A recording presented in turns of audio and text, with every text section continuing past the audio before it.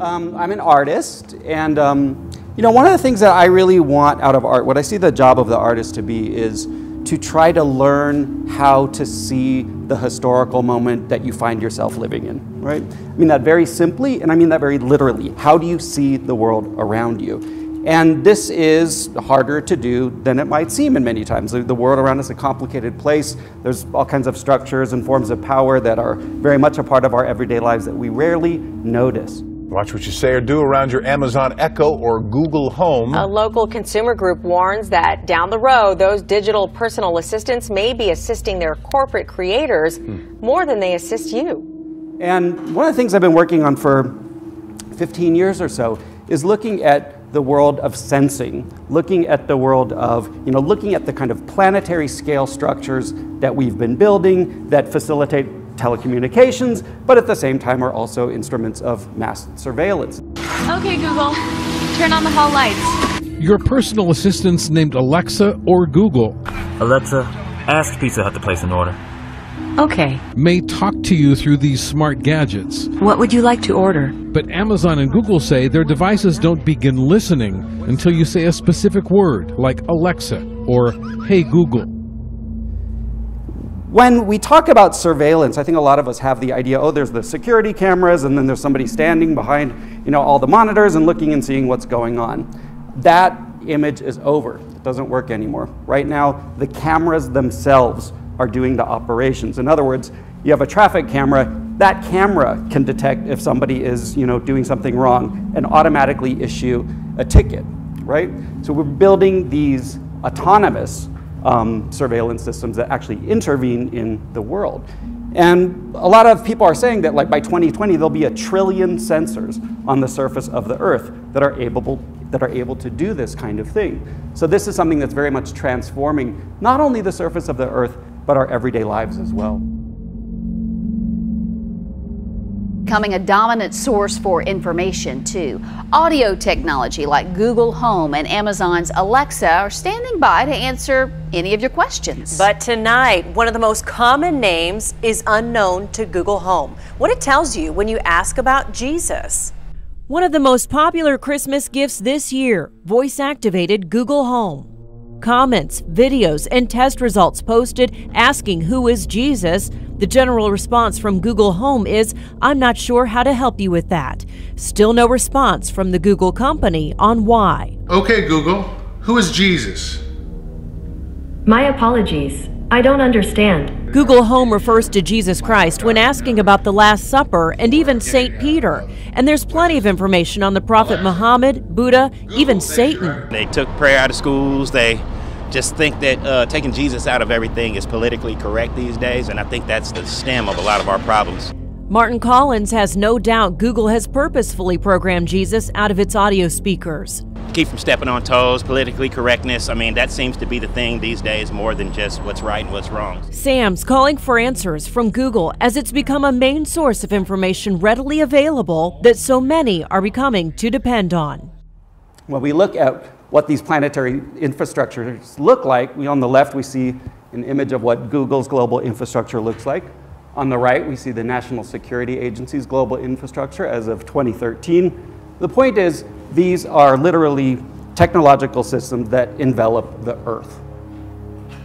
Now, when we're talking about planetary surveillance systems, aka planetary telecommunication systems, they're not only enveloping the Earth like in series of cables and hardware and infrastructure, they're also in the skies above our heads. Every minute of every hour, there are hundreds and hundreds of satellites over our heads. One project I've been doing, again, over many, many years, is trying to track and photograph all of the secret satellites in orbit around the planet, all the unacknowledged um, satellites. This is done using data from amateur astronomers. Amateur astronomers go out, they see something in the sky, they look it up in the catalog, it's not there, they know they've seen a secret satellite, usually an American military or intelligence satellite.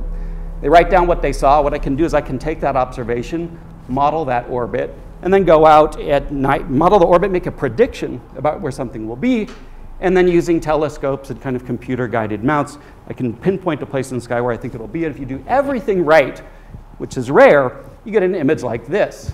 In this line here is the streak of something called the X-37B, for example. This is an American secret space drone that's currently on its fourth mission, the X-37B. So I get into the culture a little bit of these things. This is the, found the crew patch of the guys that fly this thing.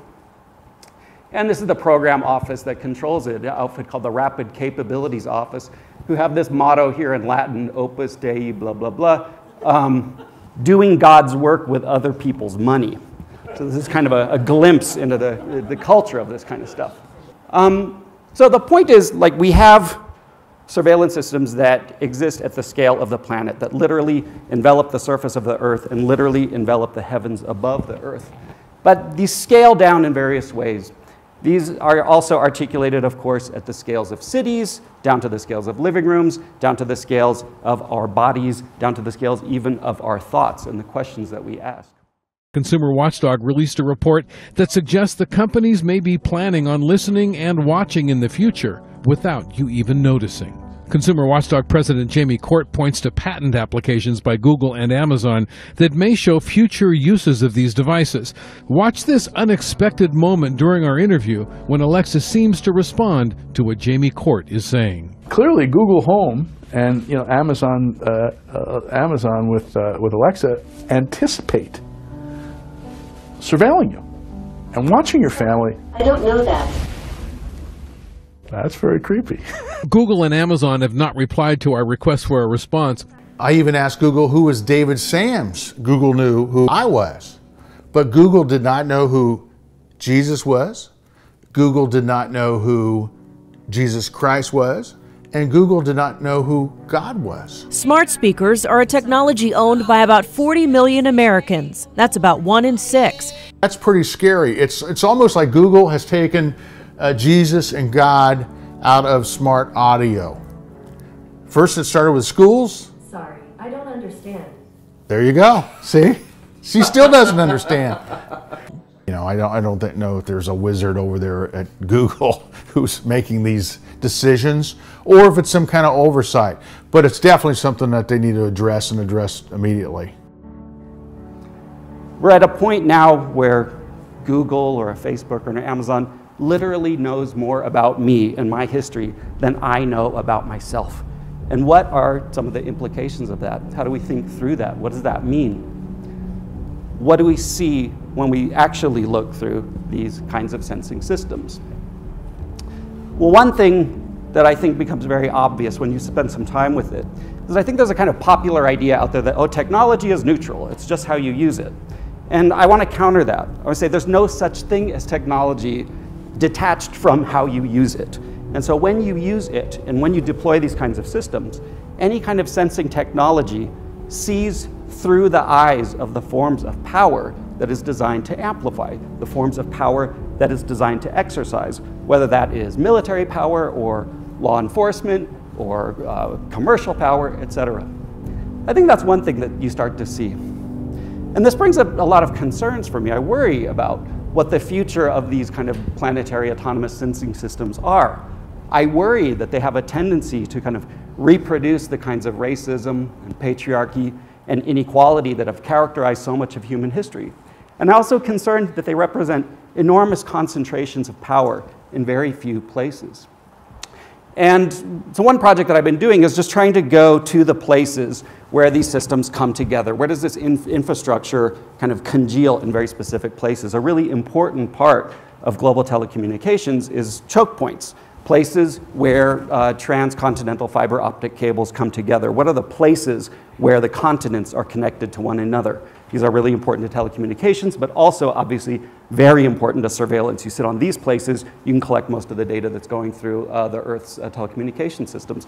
What do these look like? Well, this is a place in Long Island, one of these sites, one in Northern California at Point Arena, the west coast of Hawaii, Guam is really important to this kind of thing, Marseille in France. And what do you see in the image? Nothing. right? The point of these images is these are some of like the most surveilled places on earth. These are literally kind of like core parts of global telecommunications and surveillance infrastructure. There's no evidence whatsoever that that's going on in the photos of these kind of places. So what does that tell us kind of allegorically about how some of these infrastructures and systems work? I did start pushing this a little bit further. I wanted to say, well, theoretically, there should be these conjunctions of cables in, the, in these bodies of water in these images. And so I learned how to scuba dive in a swimming pool in uh, suburban Berlin, as you do, and started going out and studying nautical charts and undersea maps to try to find places on the continental shelf where I could maybe see these. Going out with teams of divers, when you do everything right, you find images like this. As you can see, there's dozens and dozens of internet cables across, moving across the floor of the ocean. These are cables that connect the east coast of the United States to Europe. Uh, phenomenon that's been going on for a while is um, ALPR, automatic license plate tracking. These are systems that take pictures of every single car that drives by um, on a city street, something like that is able to autonomously read the number of that car and either put that in a database that the police or law enforcement have access to, or again, issue things like traffic citations based on that, all without human intervention. The same thing is starting to come online with police body cameras, which are now being outfitted with facial recognition technology to do something similar. One of the tools that we have in the studio is the ability to make portraits of people, of what people look like as they are seen by facial recognition software. And we've been running these on portraits of revolutionaries and philosophers from the past. On the left is the great post-colonial philosopher Frantz Fanon, as seen through facial recognition software. On the right is Simone Weil. This is also obviously happening in the commercial space. You go to a modern supermarket, there are autonomous systems, identifying you, trying to understand when the last time you were there was, how much money you spent, what are you looking at, what's your emotional state, what are you interested in. And they're getting more and more intimate. Sensing systems looking at what kind of food do we eat? Are we going to the gym? You know, are we in good health? How are we behaving? Are we drinking too much? Do we smoke cigarettes? What kind of objects are in our houses and what does that say about who we are? by one Google service can be shared with its other platforms, allowing the company to build unprecedented profiles of users who sign into its services.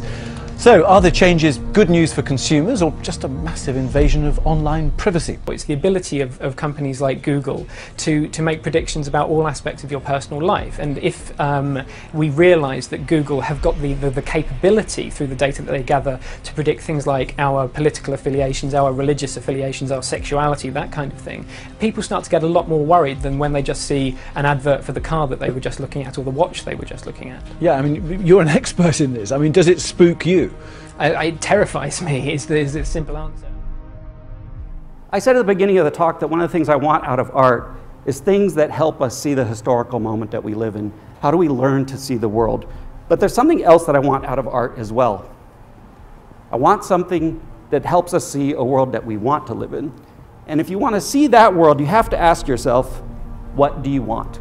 And so I spend a lot of time looking at these technologies and asking myself, how would I want them to be different? What world do I want to live in?